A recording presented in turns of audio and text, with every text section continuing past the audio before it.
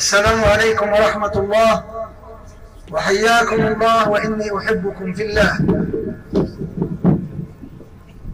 إن الحمد لله نحمده ونستعينه ونستغفره ونعوذ بالله من شرور أنفسنا ومن سيئات أعمالنا. من يهدي الله فلا مضل له ومن يضلل فلا هادي له. وأشهد أن لا إله إلا الله وحده لا شريك له وأشهد أن محمدا عبده ورسوله.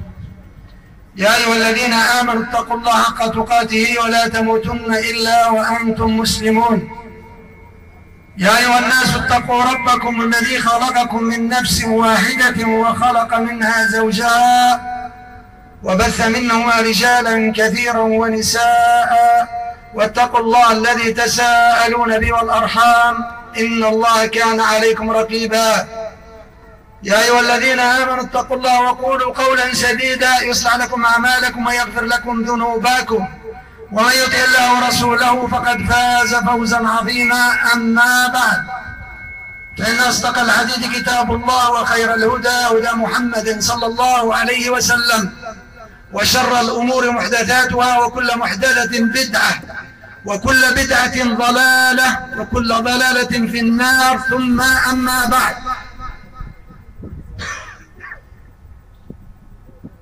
ماذا تعرف عن قدر نبيك محمد صلى الله عليه وسلم؟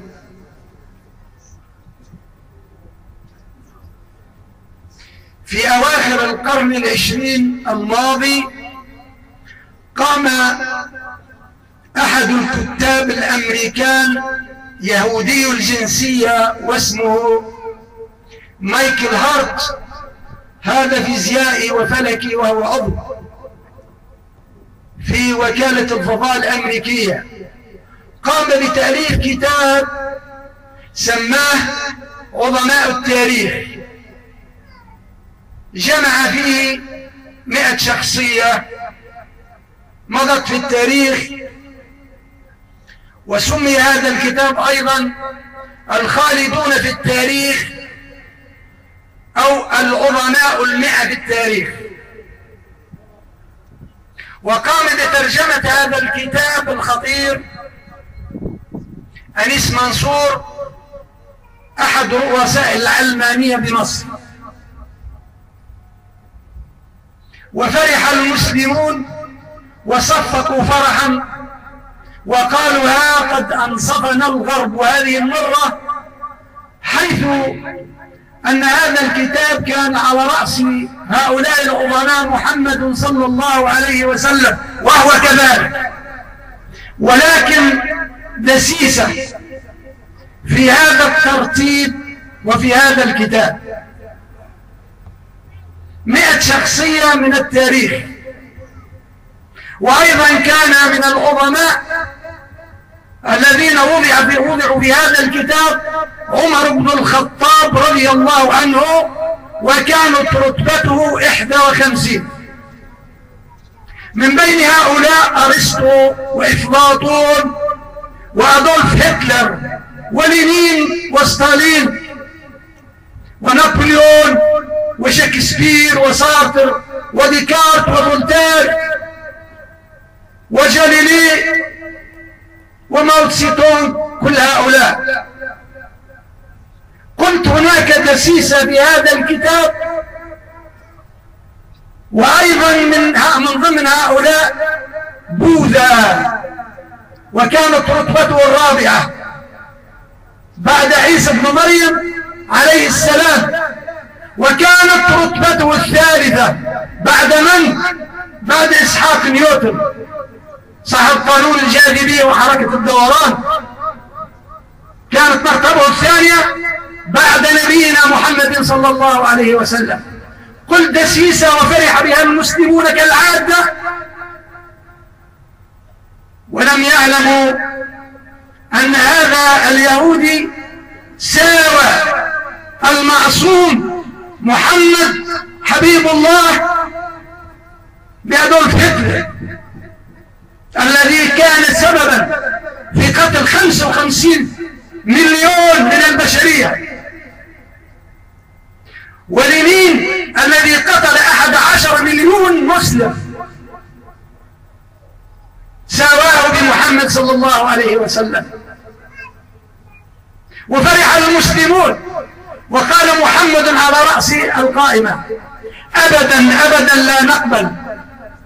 بهذه المساواة ومحمد صلى الله عليه وسلم أشرف وأرقى من أن يساوى مع هؤلاء.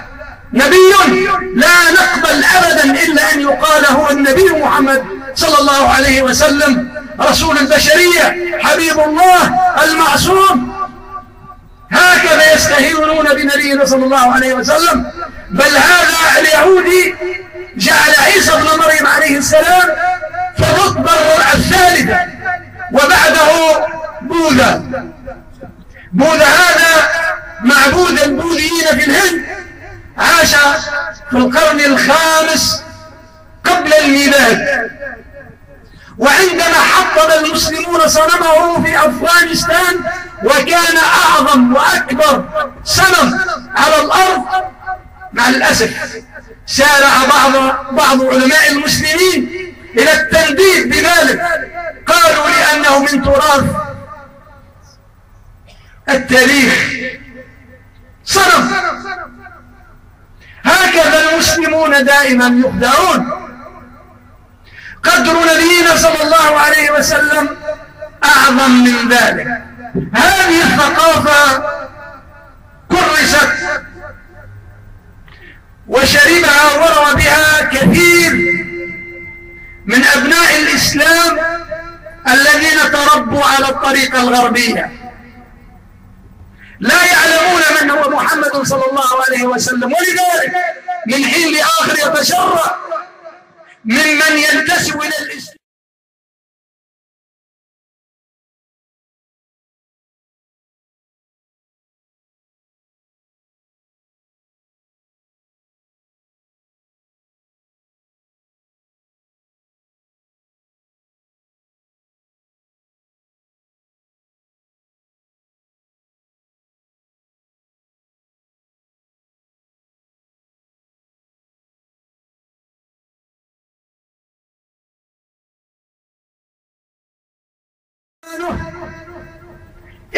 إذا قدم محمد صلى محمدا صلى الله عليه وسلم على أهله وولده ونفسه.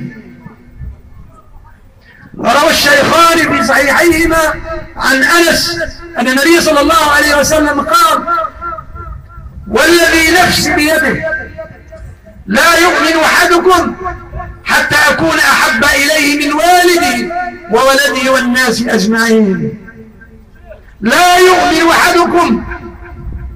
قال الله عز وجل النبي أولى بالمؤمنين من أنفسهم.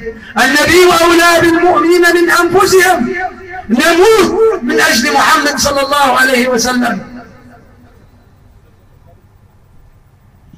روى البخاري في صحيحه عن عبد الله بن هشام قال كنا مع النبي صلى الله عليه وسلم وهو آخذ بيد عمر بن الخطاب فقال عمر يا رسول الله إنك لأحب إلي من كل شيء إلا من نفسي. قال النبي صلى الله عليه وسلم لا والذي نفسي بيده حتى أكون أحب إليك من نفسك. فقال له عمر فإنه الآن والله لأنت أحب إلي من نفسي قال الآن يا عمر الآن يا عمر اكتمل الإيمان. لما قدمت محمدا صلى الله عليه وسلم على نفسك. من حين لآخر يكون خبيث في بلاد الإسلام في هذه البلاد المسلمة بهذا الشعب الأبي المسلم. ويتحداه ويؤذي من؟ خير البشرية. الذي قال فيه الله عز وجل وإنك لعلى خلق عظيم. من تؤذي؟ تؤذي الله ورسوله تؤذي المسلمين. إن لمحمد صلى الله عليه وسلم أنصار.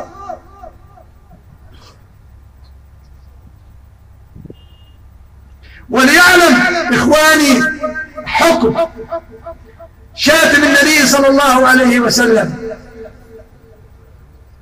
وهو حق. أجمعت عليه الأمة سلفها وخلفها. قال الله عز وجل ولئن سألتهم ليقولن, إن ليقولن إنما كنا نخوض ونلعب. قل أب الله وآياته ورسوله كنتم تستهزئون. لا تعتذروا قد كفرتم بعد إيمانكم. لا تعتذروا قد كفرتم بعد إيمانكم. يا أيها المتمسلمون يا من تؤذون محمد صلى الله عليه وسلم قد كفرتم بعد إيمانكم. هذا قول الله عز وجل فيكم. إن نعفو عن طائفة منكم نعذب طائفة بأنهم كانوا مجرمين. بأنهم كانوا مجرمين. ولا يرد بأسنا عن القوم المجرمين. سيصيب الذين أجرموا صغار عند الله وعذاب شديد بما كانوا يمكرون. سيصيب الذين أجرموا صغار عند الله وعذاب شديد بما كانوا يمكرون. وإن نجوا الآن فلن ينجوا بعد حين. قال عز وجل إنا كفيناك المستهزئين. إنا كفيناك المستهزئين. تكفل الله بهؤلاء المجرمين. أين ستذهبون؟ أين الملجأ إن محمد صلى الله عليه وسلم له أنصار وله رجال. فلا نسمح أبدا والمسلمون لا يسمحون بأن يؤذى محمد صلى الله عليه وسلم. لقد أهدر النبي صلى الله عليه وسلم دم من أذاه روى النسائي بسند صحيح عن ابن عباس أن رجلا أعمى كانت له امرأة تؤذي النبي محمد صلى الله عليه وسلم فكان ينهاها فتأبى. ثم عادته ليلة فقام إلى مكون فوضعه في بطنها فقتلها. فأنزل الله الوحي على النبي صلى الله عليه وسلم فقال النبي صلى الله عليه وسلم ألا اشهدوا أن دم هدر. لأن آلة النبي صلى الله عليه وسلم هذا الأعمى الذي يحتاج إلى زوجته. قتلها لأنها آلة النبي صلى الله عليه وسلم. ولما دخل النبي صلى الله عليه وسلم مكة أهدر دم أربعة.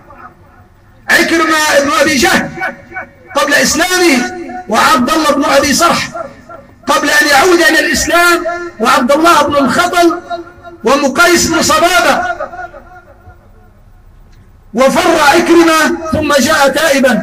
وكذلك استأمن عثمان أخاه عبد الله بن صرح من الرضاعة وقبل النبي صلى الله عليه وسلم توبته لأنه لم يؤذي النبي صلى الله عليه وسلم بل ارتد فقط.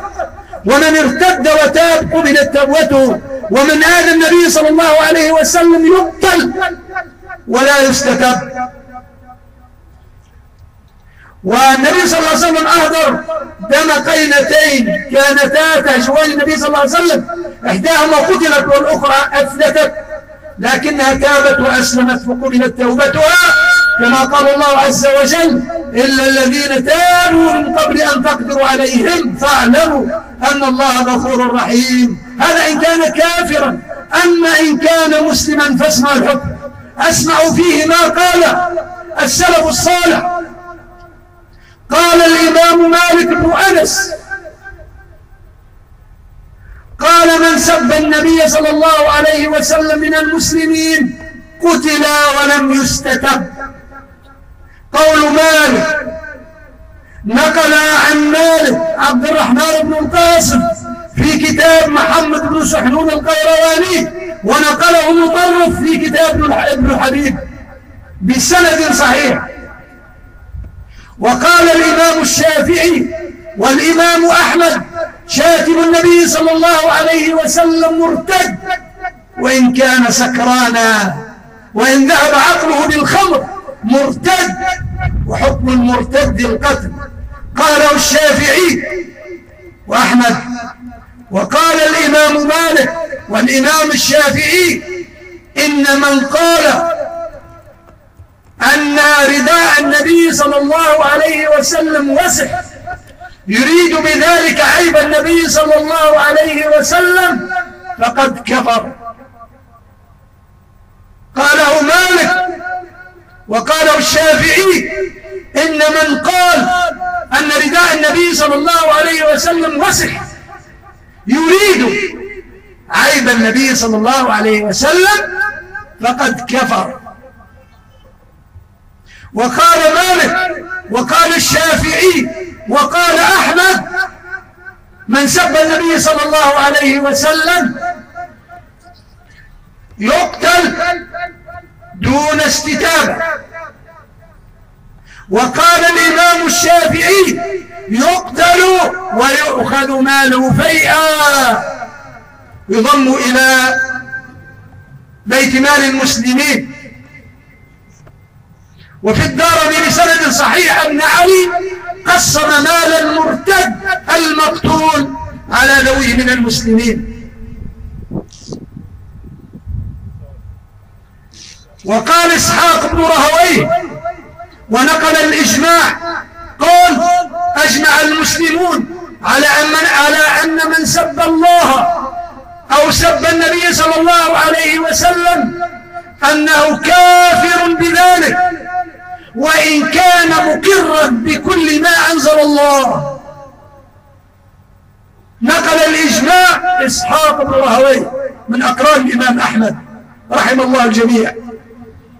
وقال أبو يوسف صاحب أبي حنيفة رحمه الله قال أيما مسلم سب النبي صلى الله عليه وسلم أو كذبه أو عابه أو كذبه أو عابه أو انتقصه فقد كفر بالله وامرأته بائنة منه. أي حرام عليه لأنه كفر. قال الإمام محمد ابن سحنون القيرواني المتوفى ست وخمسين ومئتين.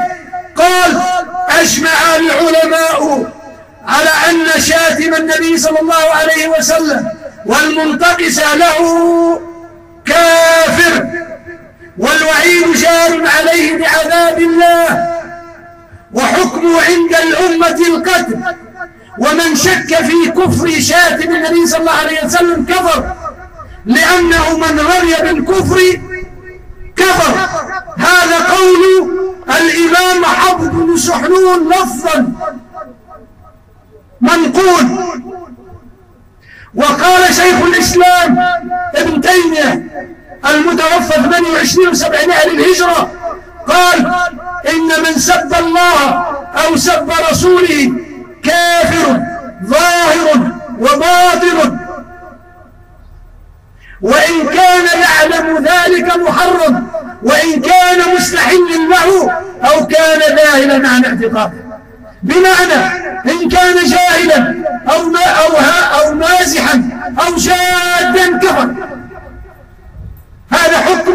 من سب النبي صلى الله عليه وسلم أو انتقصه. ليعلم الجميع أن لنبينا صلى الله عليه وسلم قدر عند الله وعند الأمة. فلا أحد يتشرع على محمد صلى الله عليه وسلم فما لنا نستهين بذلك. قال الله عز وجل اسم هذا الميثاق الذي أغنى على كل الأنبياء وعلينا أيضا اسمعوه ميثاق غليظ. على نصرة النبي صلى الله عليه وسلم. قال الله عز وجل وإذ أخذ الله من النبيين ميثاقهم. وإذ أخذ الله ميثاق النبيين ميثاقهم أنه إذا جاءكم نبي. وإذ أخذ الله ميثاق النبيين. وإذ أخذ الله ميثاق النبيين. أن إذا جاءكم رسولا لتنصرنه. قال أقررتم وأخذتم على ذلك مصر قالوا أقررنا قال فاشهدوا وأنا معكم من الشاهدين فمن تولى بعد ذلك فأولئك هم الفاسقون. بمعنى أن الله عز وجل أخذ الميثاق على النبيين من آدم إلى عيسى عليهم السلام جميعا أن ينصروا محمدا صلى الله عليه وسلم.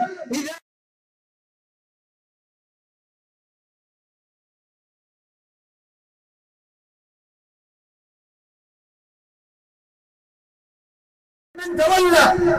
بعد ذلك فأولئك هم الفاسقون بمعنى أن من تولى عن نصرة النبي صلى الله عليه وسلم فاز. إذا أوذي النبي صلى الله عليه وسلم في حياته وبعد مماته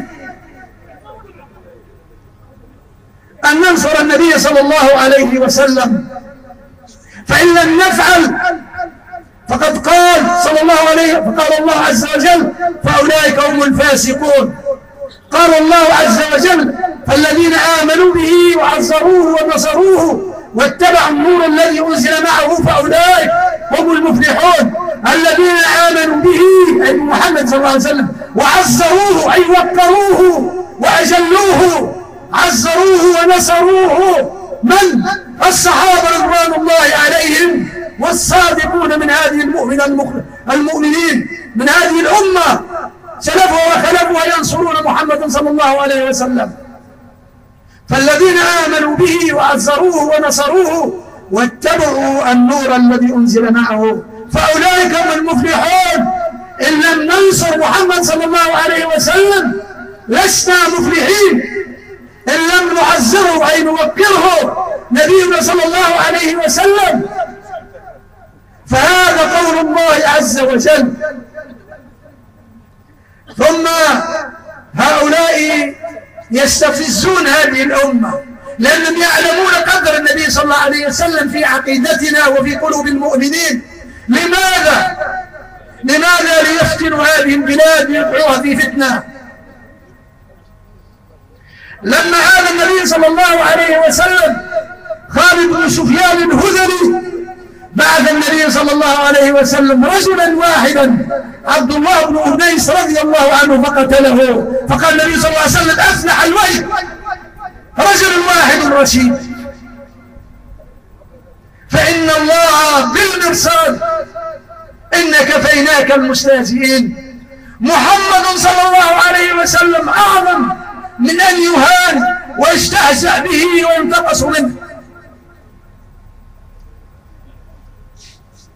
ثم يلومون الشباب إذا ما انتصر إلى النبي صلى الله عليه وسلم. لا تلوموا الشباب لأنه نبي الأمة نبي البشرية.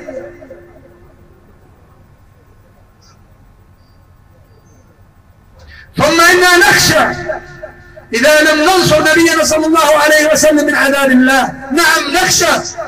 وروى الترمذي بسند صحيح عن حذيفة أن النبي صلى الله عليه وسلم قال والذي نفسي بيده لتأمرن بالمعروف ولتنهون عن المنكر أو لوشكن الله أن يصيبكم بعذاب منه ثم تدعونه فلا يستجاب لكم. النبي صلى الله عليه وسلم يقسم صلى الله عليه وسلم والذي نفسي بيده لتأمرن بالمعروف ولتنهون عن المنكر وأي منكر أعظم من هذا المنكر؟ أو ليوشكن الله أن يصيبكم بعذاب منه ثم تدعونه فلا يستجاب لكم. وفي حديث رواه الترمذي وابن ماجه بسند صحيح عن أبي بكر الصديق رضي الله عنه قال يا أيها الناس إنكم تقرؤون هذه الآية يا أيها الذين آمنوا عليكم أنفسكم لا يضركم من ضل إذا اهتديتم. فإني سمعت رسول الله صلى الله عليه وسلم يقول إن الناس إذا رأوا منكرا فلم يغيروه يوشك أن أن يعمهم الله بعقاب. اللهم لا تعاقبنا بما فعل السفهاء منا. يوشك أن يعمنا الله بعقابه قال عز وجل واتقوا فتنة لا تصيبن الذين ظلموا منكم خاصة. بمعنى لا تصيب الظالمين فقط بل الجميع. ويبرز الناس على نياتهم إذا سكتنا عن هذا المنكر.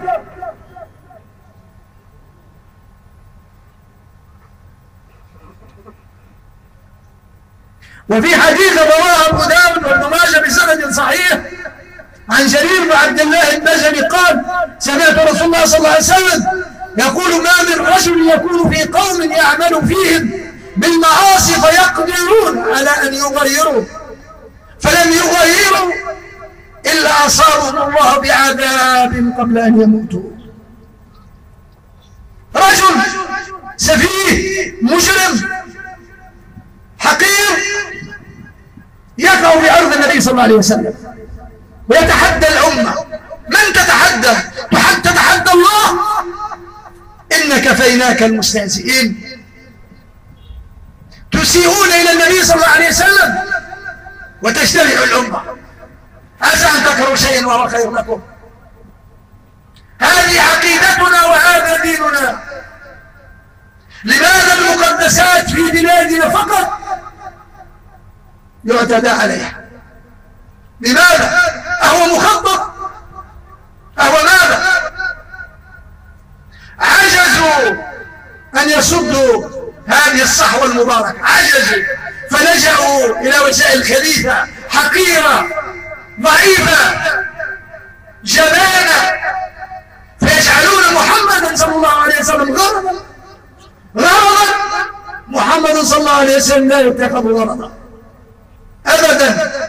إنه في قلوبنا اليوم غرض لن تموت هذه الشعوب هذه الشعوب قلوب حية عقيدتنا هي هي. وسندافع عن النبي صلى الله عليه وسلم. فاعلموا هذا هو حكم من سب النبي صلى الله عليه وسلم ليعلمه الجميع. لا يعذر جاهل بجهل هذه الحكم. اللهم صل على محمد وعلى آل محمد كما صليت على إبراهيم وآل إبراهيم إنك حميد مجيد. اللهم بارك على محمد وعلى آل محمد كما باركت على إبراهيم وآل إبراهيم. إنك حميد مجيد. سبحانك اللهم وبحمدك أشهد أن لا إله إلا أنت أستغفرك وأتوب إليك.